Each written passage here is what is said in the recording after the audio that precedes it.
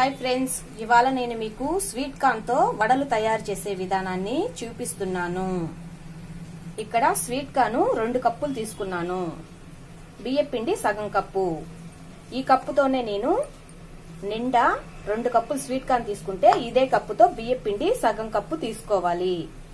అలాగే కట్ చేసుకున్న ఆనియన్ ముక్కలు కరివేపాకు కొత్తిమీర ఇది అల్లం పచ్చిమిర్చి పేస్టు. రెండు పచ్చిమిరపకాయలు అలాగే కొంచెం చిన్న అల్లం ముక్క ఇలా కచ్చా పచ్చాగా దంచాను. ఇప్పుడు మనం తయారు చేసే విధానం చూద్దాము. మనం ఈ స్వీట్ కార్న్ని మిక్సీకి వేసుకోవాలి. మిక్సీకి వేసేటప్పుడు వాటర్ ఏమీ వేయని అవసరం లేదు. ఎందుకంటే మనకి స్వీట్ కార్న్లోనే వాటర్ అనేది ఉంటుంది. చూడండి.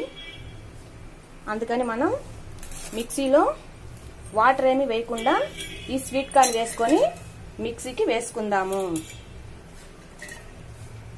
చూడండి. స్వీట్ కార్న్ అంతా నేను మిక్సీకి వేసాను. అలాగే దీంట్లో ఇప్పుడు తగినంత సాల్ట్ కూడా వేసుకొని మిక్సీకి వేసుకుందాము. చూడండి మిక్సీకి వేసేసాను. కొంచెం బరగ్గా వేసుకుంటే సరిపోతుంది. మరి పేస్ట్ లాగా అవసరం లేదు. అలాగే మనం ఇప్పుడు ఆయిల్ అనేది కూడా బాండల్లో పోసుకొని స్టవ్ వెలిగిస్తే ఇక్కడ మనకి ఆయిల్ అనేది కాగుతూ ఉంటుంది. ఈ లోపల మనం ఆనియన్స్ ముక్కలు బియ్యపిండి అవన్నీ మిక్స్ చేసుకోవచ్చు. చూడండి ఆయిల్ నేను స్టవ్ మీద పెట్టేశాను. ఇప్పుడు మనం ఈ స్వీట్ కార్న్ పేస్ట్లో ఈ ఆనియన్ ముక్కలు ఈ కొత్తిమీర కరివేపాకు అంతా వేసుకొని ఒకసారి మిక్స్ చేసుకుందాం. అలాగే మీరు సాల్ట్ కూడా ఒకసారి చెక్ చేసుకోండి. తక్కువైతే ఇప్పుడే కలుపుకోవచ్చు. ఇప్పుడు ఈ బియ్య పిండి కూడా. చూసారా మనం వాటర్ ఏం వేయకుండానే ఎలా వచ్చిందో? స్వీట్ కార్న్లోనే మనకి వాటర్ అనేవి ఉంటాయి. అందుకనే మనం వాటర్ వేయకుండా వేసుకున్నాము. బియ్య పిండికి కూడా మనం వేసిన తర్వాత నీళ్ళు అనేవి అవసరం ఏమీ లేవు. దాంట్లో ఉన్న వాటరే సరిపోయింది. స్వీట్ కార్న్లో ఉన్న వాటరే.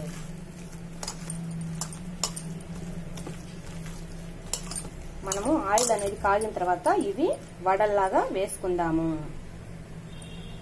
చూడండి మనకి ఆయిల్ అనేది కూడా కాగింది.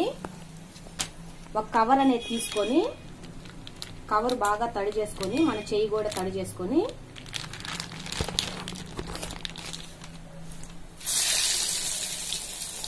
ఇలాగే మనం అన్ని వడలు వేసుకోవాలి.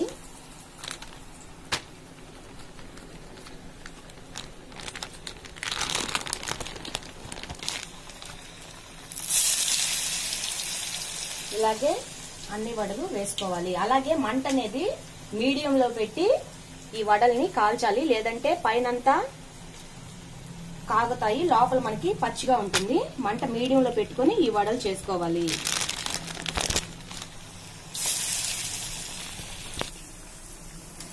చూడండి.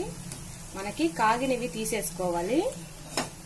ఈ రెండు ముందేసాం కాబట్టి బాగా కాగాయి. ఇది ఇంకొంచెం సేపు ఉంచి తర్వాత తీసేద్దాం. అన్ని ఒక్కొక్కటి వడలు ఇలానే వేసుకుందాము. చూడండి మనం వీటితోనే చిన్న చిన్నవి పునుగుల్లా కూడా వేసుకోవచ్చు.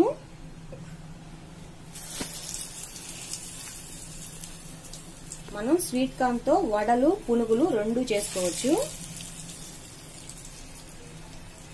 ఇవి చిన్న చిన్నవిగా వేస్తేనే మనకి లోపలంతా బాగా ఉడుకుతుంది. అందుకే ఇవి చిన్న చిన్నవి ఇలా పునుగులుగా వేస్తున్నాను.